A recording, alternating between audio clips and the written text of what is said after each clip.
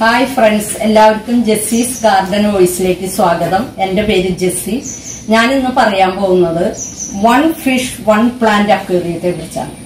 അപ്പോണിക് സംവിധാനത്തിൽ മീനുകളുടെ അവശിഷ്ടങ്ങൾ വലിച്ചെടുത്ത് ചെടി വളരുന്നു. അതിനോടൊപ്പം ടാങ്കും ഒരളവിന് ക്ലീൻ ആവുന്നു. ഇതിന്റെ ഒരു ലളിത രൂപമാണ് ഞാനിവിടെ കാണിക്കാൻ പോകുന്നത്. അതായത് ഒരു മീനിനെ വളർത്തുന്നതിനോടൊപ്പം ഒരു ചെടിയും വളർത്തുന്നു.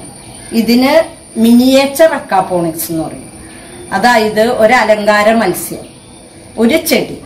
ഒരു മിനിയേച്ചർ അക്കാപോണിക്സ് ആണ് ഞാനിവിടെ കാണിക്കാം ഇതിന് ആവശ്യമുള്ള സാധനങ്ങൾ അതായത് ഒരു ഗ്ലാസ് ബൗൾ അല്ലെങ്കിൽ ഫൈബറിന്റെ ആയാലും മതി. ഈ ബൗളിന്റെ വാവട്ടത്തിന് കറക്റ്റ് ആയിട്ടുള്ള ഒരു പോട്ട്. നമ്മൾ ഓർക്കിഡൊക്കെ വളർത്താൻ ഉപയോഗിക്കുന്ന പോട്ട് മതി. ഇതിനൊരു ചെടി ഇറക്കി വെക്കാൻ വേണ്ടി ഒരു ഹോൾ ഉണ്ടാക്കണം.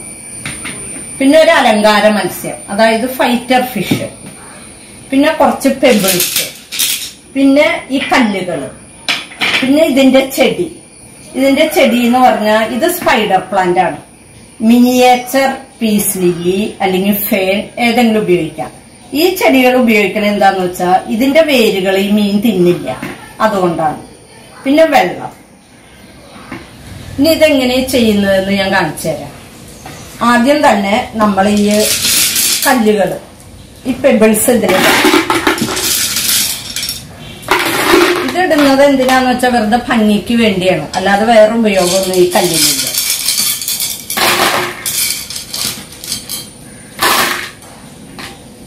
അതിനുശേഷം നമ്മൾ വെള്ളം ഒഴിക്കണം.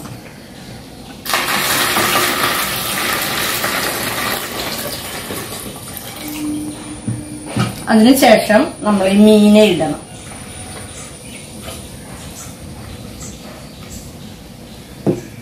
നമ്മൾ ഈ ചെടി ഈ പോട്ടിന്റെ ഉള്ളിൽ ഇറക്കി വെച്ചിട്ട് ഇവിടെ വെക്കണം. ഇതിനെ താങ്ങി നിർത്തുന്നത് ഈ കല്ലുകളാണ്.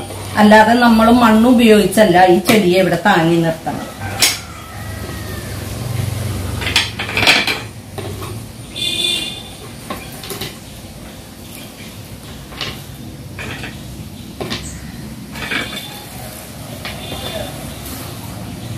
ഇതിന്റെ പരിപാലനം എന്ന് പറഞ്ഞാൽ വെള്ളം കുറയുമ്പോൾ അതായത് വെള്ളം കുറച്ച് ബാഷ്പീകരിച്ച് പോയി കഴിയുമ്പോൾ നമ്മൾ ഇതിന് വെള്ളം ഒഴിച്ചു കൊടുക്കണം. പിന്നെ കൂടുതൽ മാലിന്യങ്ങളായി ടാങ്ക് അഴുക്കായി കഴിഞ്ഞാൽ നമ്മൾ ഈ വെള്ളം മാറ്റണം. മാറ്റുമ്പോൾ ചെടികളുടെ വേരുകളും കല്ലും ഈ ബൗളും എല്ലാം വൃത്തിയായിട്ട് കഴുകണം.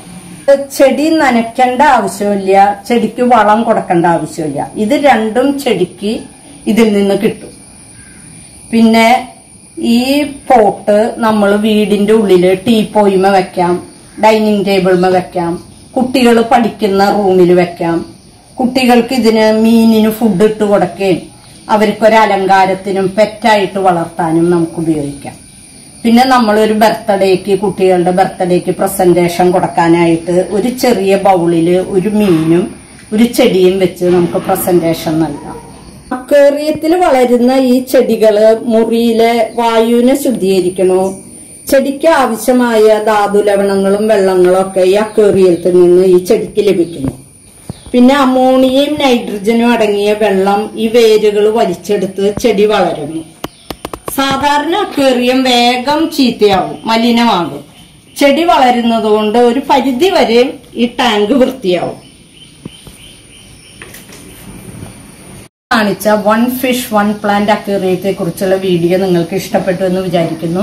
ഇഷ്ടപ്പെട്ട എനിക്ക് സബ്സ്ക്രൈബ് ചെയ്യണം കമന്റ് ചെയ്യണം ഷെയർ ചെയ്യണം. അടുത്ത ആഴ്ച നിങ്ങളുടെ മുമ്പിൽ വേറൊരു വീഡിയോ ആയിട്ട് ഞാൻ വരുന്നതായിരിക്കും.